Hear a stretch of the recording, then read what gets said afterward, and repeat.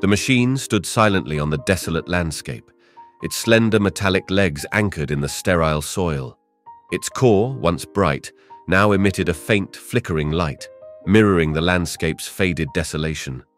The world had transformed into perpetual dusk, its sunsets replaced by the twilight of a dust-filled sky. The machine roamed the barren landscape daily, searching in vain for life that no longer existed.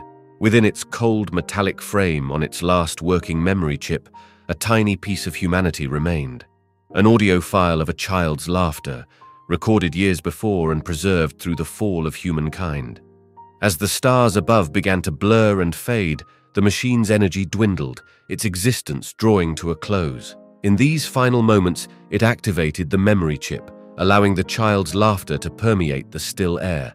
This sound, so full of life, contrasted sharply with the oppressive quiet of the desolate planet. And then, in the midst of this profound stillness, the machine ceased to function.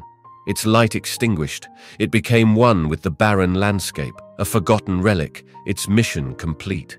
The child's laughter, once a symbol of life and joy, faded to silence, leaving only the winds of a forgotten earth.